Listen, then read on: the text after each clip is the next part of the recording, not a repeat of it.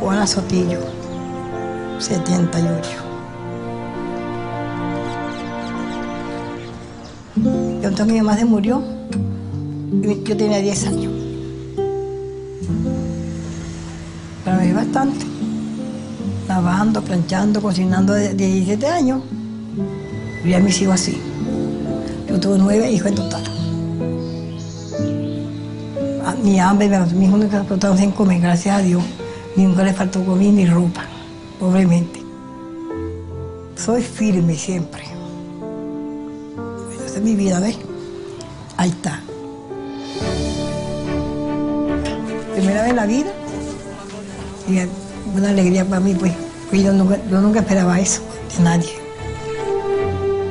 Yo sí soy feliz. Feliz, feliz, feliz. Yo veo a mis hijos yo solita, y hoy en día, están tratando ellos ahí, me dan lo que ellas pueden dar, como digo, y con ha hecho mucho más feliz todavía. Pero yo no esperaba nunca eso. Bueno, con eso yo pago mi luz, pago mi agua, si que pagarla, y lo que sea, pues. Amor mayor. A mí me encanta eso.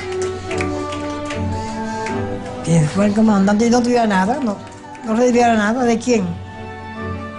Bueno, un gran hombre, haciendo lo que no hicieron ninguno de los presidentes. Como un hijo mío Chávez, como que fue un hijo mío, pues, ese amor.